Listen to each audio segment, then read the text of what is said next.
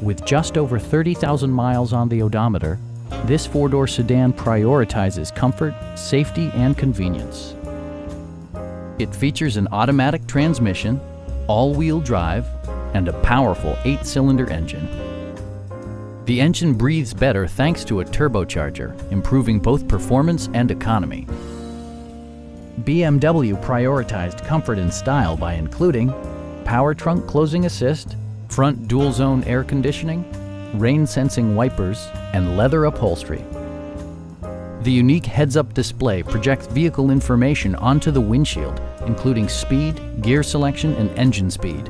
Drivers benefit by not having to take their eyes off the road.